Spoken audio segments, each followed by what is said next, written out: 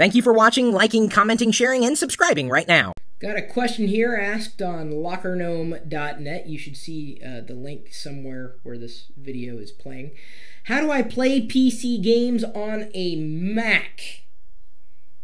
Well, you could either get the Mac version of the game, if it is available, and yes, there are many games available for Mac OS 10, or you, of course, could run some kind of, let's say, virtual machine software, whether it's VirtualBox, uh, which is okay, open source, it's free, doesn't cost you anything at least, in that sense, free.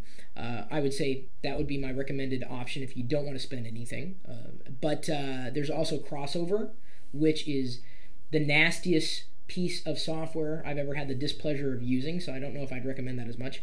Uh, VMware uh, is also a, a nice uh, virtualization uh, platform uh, for those of you uh, that are power users.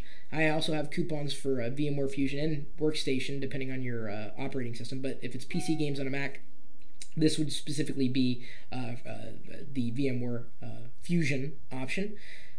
save you money there. there's also Parallels uh, for the Mac, and uh, in there you could run Windows, and they have uh, different optimizations running within it, and it's it's kind of like. Uh, VMware Fusion and Parallels are kind of neck and neck in terms of performance. Parallels kind of edges out VMware Fusion at this point in time. Um, there's a few features in Parallels that I happen to like a little more uh, than VMware at this uh, right now at, at, this current version.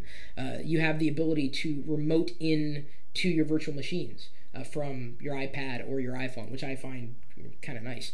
So, uh, Parallels or VMware Fusion would be my recommendation if you're looking to run a PC game within a window on uh, the Mac. But I also wouldn't recommend doing that uh, because a lot of the games that you're likely wanting to play really need as much hardware as you could throw at them. And while you could probably squeak by uh, inside a virtual machine, uh, my full-on recommendation would actually be to use anybody? Anybody? Surprised no one's mentioned it. Hang on i'm checking. Oh wait someone did. The mac guy uh, mentioned it right uh, right there as well as gone 414 i'm looking back at chat there. Boot camp. Now that's software that runs on a mac that essentially turns it into a pc I mean, you could go out and buy a PC, that's fine. But if you already have a Mac, which is also a PC, you could run Windows as if you were running it on a PC. That's essentially what you're doing. Not emulation, not a virtual machine. You are running Windows. In fact, so many people have said it's the best Windows experience they've ever had is on a Mac using Boot Camp. Because, see, unlike a lot of the OEMs, uh, when you install Windows on a Mac, you don't get all the extra crap that is bundled in by OEMs, all the extra drivers and useless software that you normally uh, get that bogs down Windows. You don't get any of that uh, when you install uh, Windows in a, a, boot camp. And VMware Fusion and Parallels also have the ability to help you access that boot camp partition on your Mac uh, from within Mac OS 10. So essentially, you set up a boot camp partition, Windows, and I'd recommend Windows 7 at this point in time and you could run it as if you're playing in a PC. You could do it on a, a MacBook Pro, an Air, any kind of any Mac that's uh, you know on an Intel platform, iMac certainly. Uh, and then it, when you want to jump back into Mac OS 10, you can still access that very same Boot Camp partition from within either Parallels or VMware Fusion. Uh, so my recommendation is just use Boot Camp. It, you can already do that now.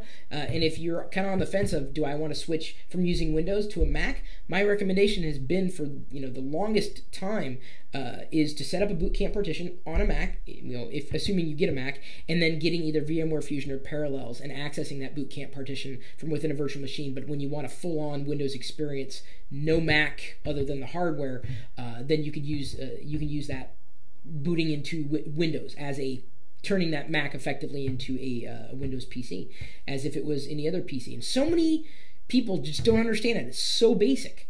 It's so basic. It's awesome. It really is. Uh, I, I, can't explain it any more clearly than that. Actually, I probably could, but I'm not going to.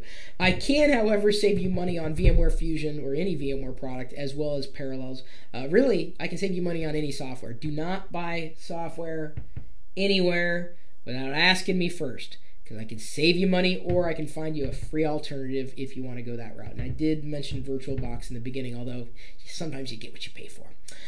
Either way, uh, that's my answer. I don't know if anybody else has any different answer, but you're uh, welcome to uh, post a comment and your own thoughts on Virtualization Bootcamp and beyond.